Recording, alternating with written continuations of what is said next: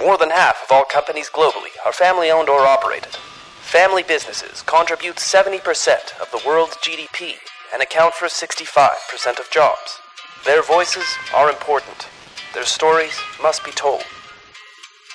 Brought to you by the award winning publication, Tharawat Magazine. This is the Family Business Voice with your host, Ramya Elagami.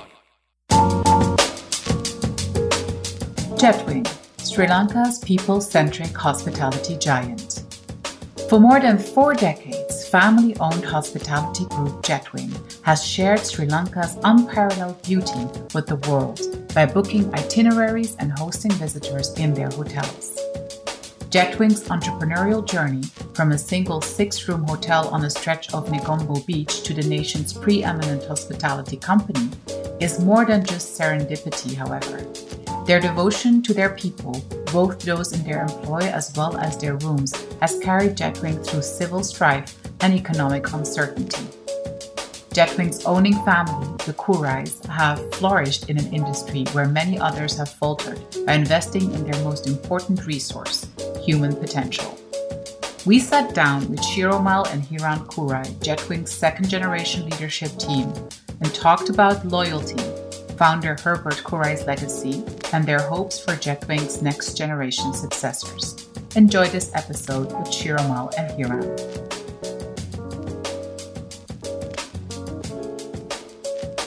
It's always a little bit uh, strange, like you talk to this person, suddenly you're supposed to dive into a conversation never met you before. So, but it would be lovely for us to have a bit of an introduction from you to tell us a little bit like how you came to join the family business and also what your roles are today. That would be lovely. Okay, so I'll start. I'm the eldest. I'm an accountant by profession. So I worked in a advertising company, finance, and I think about ten years after I I, I was in finance position, I joined family business in the travel arm. We had two main arms, travel and hotel. So I, I joined the travel company.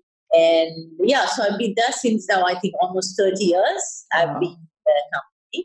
And uh, so I, I worked as the managing director of the travel company and carried through uh, till this day. Yeah. 30 years. That's incredible. Wow. And in an industry that has changed so much in that time, right? Like Shiromal, I mean, it must have been incredible disruption of your industry really within the time that you've been uh, in charge like what are the turning points that are in your mind that you saw happen for the company over those last 30 years yeah so when i joined the company it was already in that critical stage i mean the war was on and things were going down and i mean there have been lots of other issues which hiran will tell you that he while he was working things happened but while i was there it was just the war mm-hmm. the civil war that we had and then the bombs were going off, all of that. And we've, so we've gone through a lot of challenges, a lot of chaos, uh, but we survived. And uh, so, yeah, I can think something like maybe the bomb that went off in the central bank, the airport got bombed. Uh, you know, a lot of things happen. Some of the places of interest, like uh, sacred places, and the Anuradhapura got also attacked. So those all had impact on tourists coming into the country. And then we, there were times when we were not, then we had the tsunami, which also took away a lot of the arrivals. And so there were times when we didn't have a single uh, arrival, mm. which happened also after 21st April this year. But uh, yeah, we, we survived all of that and managed it. And see, one thing we didn't do is get rid of our staff, mm-hmm. uh, which is what a lot of companies do when there's a problem. They just try to reduce their cadre. Mm-hmm which is what our dad, uh, who founded the company, used to always tell us that, uh, especially for the travel company that I looked after, we don't have any assets other than a few vehicles. Mm. So our main asset is our is our people. Yeah. So we kind of our assets walk in and walk out. You know, they walk mm. in in the morning and they walk out at the end of the day. So yeah. therefore, we need to retain them. And uh, yeah, so that's what we did, and yeah, it has worked for us.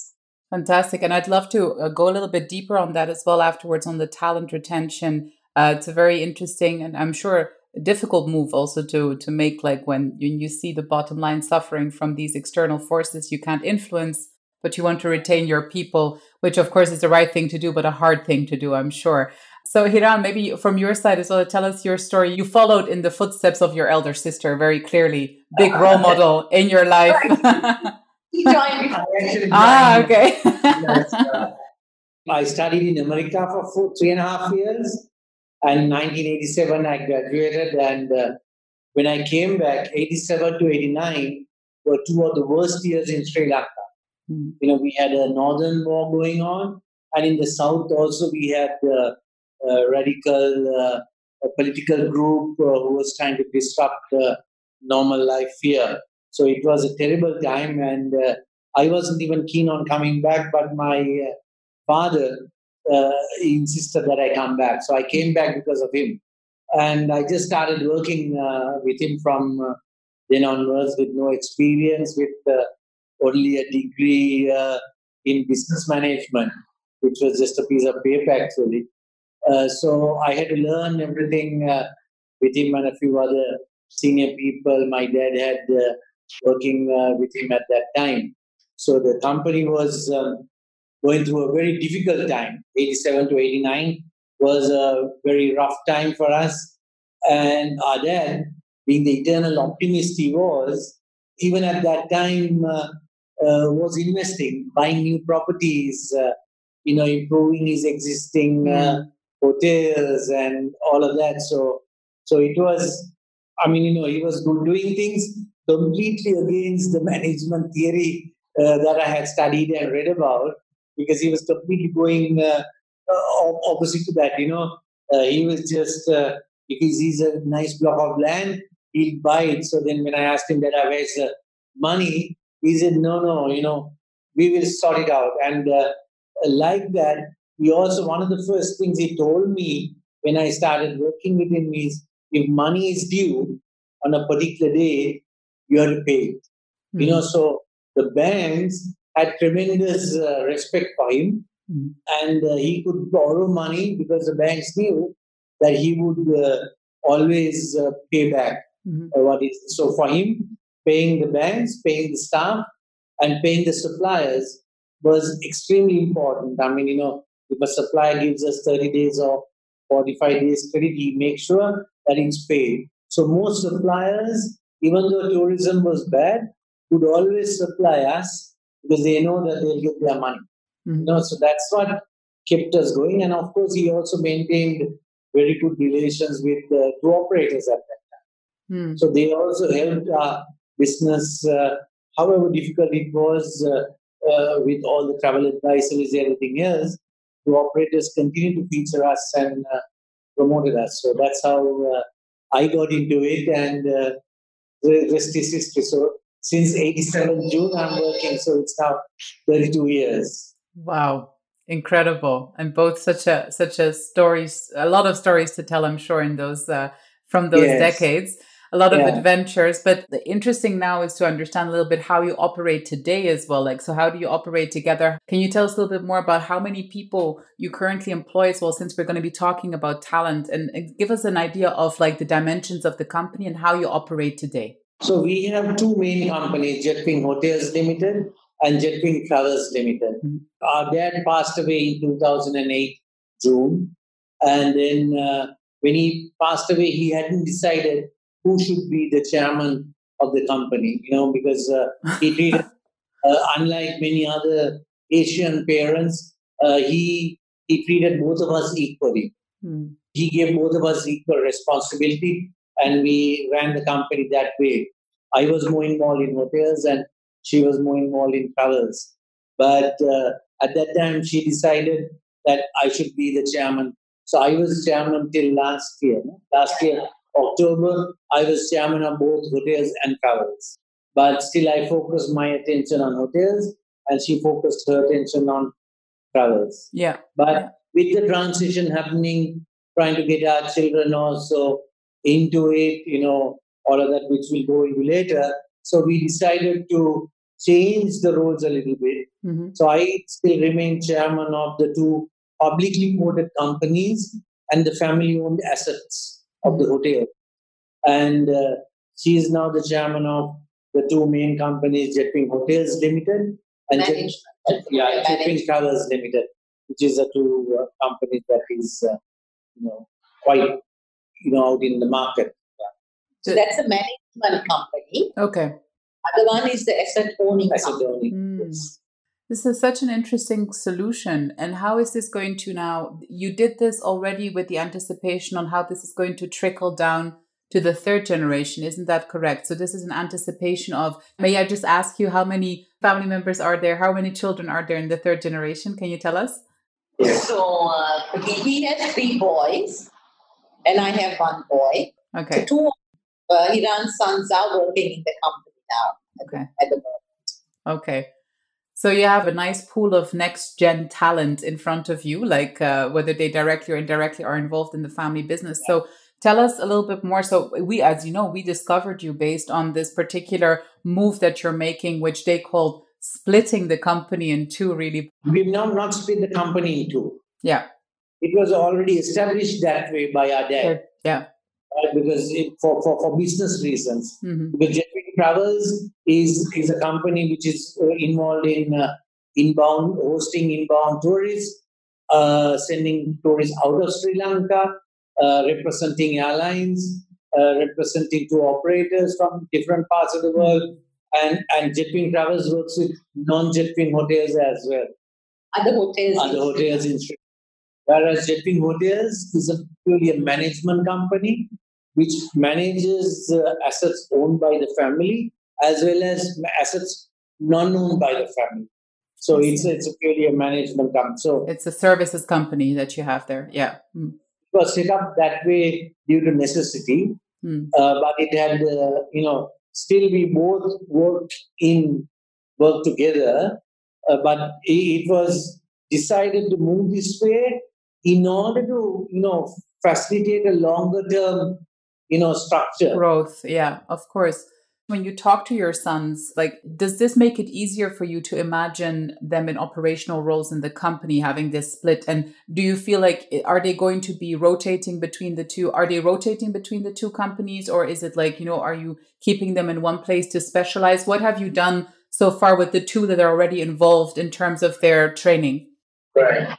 So the elder boy is 27 years old, and he's now he studied in Singapore and in Australia uh, hospitality management, and he's uh, now we we have uh, we have other senior directors of the company as well. You know, uh, there is a managing director who's a non-family member. Uh, there's there are a few executive directors, uh, who are non-family members again. So it's only the two of, Two of us, us in our senior generation. who management. are- and uh, so so we have a French gentleman who's a director of hotel operations, Mhm. and so my elder boy, who's 27, is now designated manager operations. So he works directly under the French guy Jerome. okay Mm. Uh, so that's his role at the moment, uh, handling He's done it for operations. about four years. huh? Now, Dimitri. Uh, Dimitri is about four years now, the elder boy, uh, close to four years. So the second boy, Hashan, is will be 23 in Mar- in September, and uh, he studied for two years economics in uh, California, and he came back. He, he worked as a management trainee, and our marketing manager suddenly left. So he showed an interest Ah, in marketing. So he's now handling uh, marketing for Jetwing hotels. So at the moment, what we thought is, assuming the other boy also comes back, maybe he would uh, work in Jetwing Travels, Mhm. you know, because uh, it's a lot of work. I mean, you know, it's not, and also the the company does not rely purely on the two of us or the three of them or four of them in the future. It's set up in such a way without without the Pure family, the company can go on. So it's such an um, interesting conversation, isn't it? This what happens to the non-family employees when family members join the company. So there's a school of thought that says, well, it gives the non-family employees a lot of confidence that there's continuity, right? Like that the family will take care of the business and that the family is still there. In other cases, there's a rivalry that starts building up that people feel like they might not be able to access the same jobs as the family members. Um, what has been the feedback that has reached you from the non-family employees when it came to integrating the next generation? And actually, it even applies to when you joined the company. I'm sure there were already non-family members involved, right? Like, so how does it compare when you joined, and also how does it compare when your sons joined? Like that feedback that you got from the other employees. So, okay, so when I joined, that the company I joined was very small. I think it had about six employees, and it was a travel company, uh, and there was a managing director of that company. And unfortunately, uh, the way I worked and the way he worked didn't really gel. Mm. And he decided to leave. Uh, and then he started his own company. Uh, and then since then, he moved places and all of that. So that that's the current that that is that was how it was many years ago. So currently, if you are to talk about travels, yes, we do have a very good setup, a certain line and of very senior managers. But if uh, the youngest, my youngest nephew wishes to come and join the business because he's he's uh, very uh, well uh, suited for that job because mm-hmm. it's, it's an outgoing job. You need to go out and entertain people, and you know it's it's a more PR thing, and so he's got the right aptitude for it. And if he does come, I think there's not going to be a problem because mm-hmm. he's also very young. He's only 21, 21 now. 21. So mm-hmm. there is more time for him to come to a senior position. Mm-hmm. So until then, I think I'm sure the others will nurture him.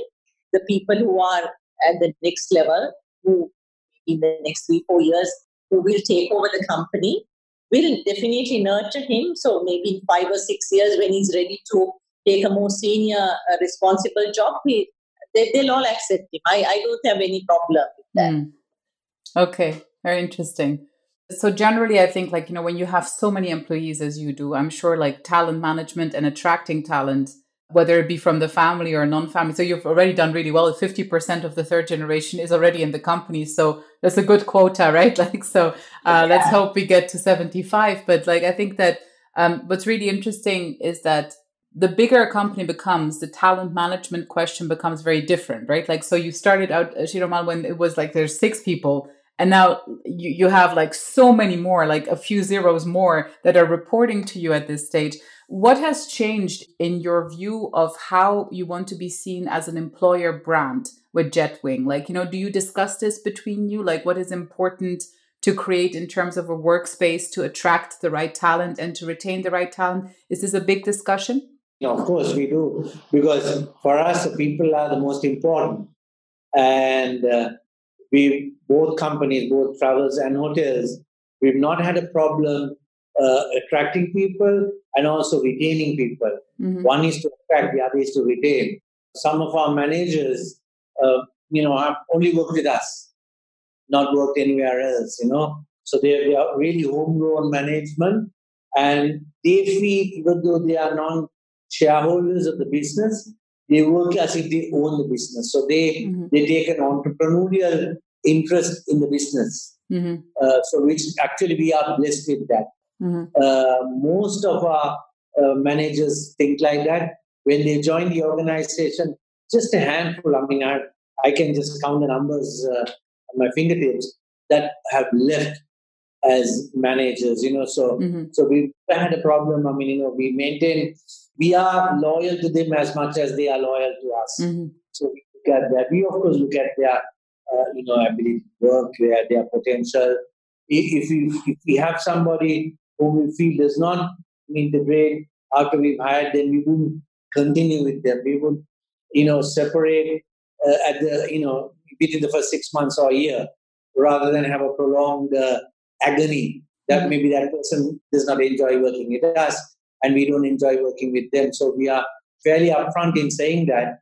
But once they once they become complete uh, Jetwing uh, loyalists, and then they, they enjoy working and then continue enjoying till uh, some have passed the age of retirement and then they still continue to work with the with the same motivation and the you know enthusiasm they had 15 20 years ago it's an incredible very uplifting culture it sounds like that you have created inside your companies the technology uh, that is used by the consumer, particularly when it comes to like travel choices, has changed radically in the time that you both have been active. But this has also impacted the way people behave at work. So people uh, view their own work, etc. So, for instance, I mean, I guess today you have a lot of your employees tweeting, Facebooking, Instagramming about their day to day at Jetwing, which before never used to be the case, of course. So this has also led to concern for certain companies in terms of managing their reputation in the face of the fact that employees can today, of course, you know, uh, leak information or share whatever they want with the outside world without it being within the control of the company. Have you got any policies in place where you're like, you know, we need to, especially because I'm just asking this because I'm aware that you being so dependent on tourism and tourism being such a volatile thing in Sri Lanka right now due to the security issues, you know that added that added uh, problem with like reputation management. I was just wondering whether you've had any policies put in place with regards to how employees deal with the brand to the outside world.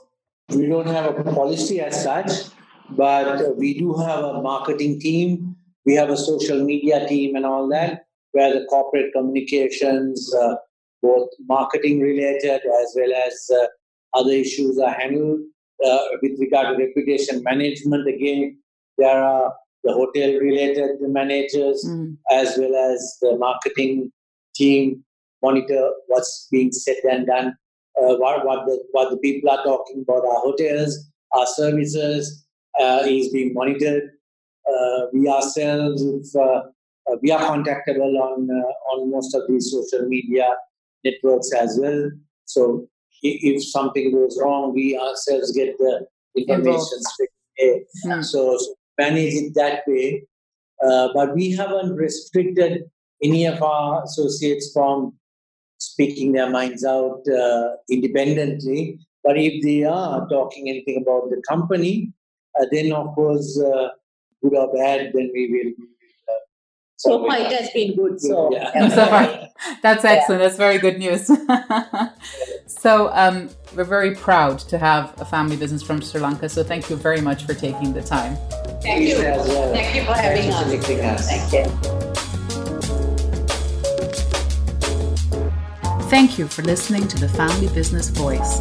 Subscribe to our channels now on iTunes, TuneIn, Stitcher, or Spotify to be notified of our weekly episodes.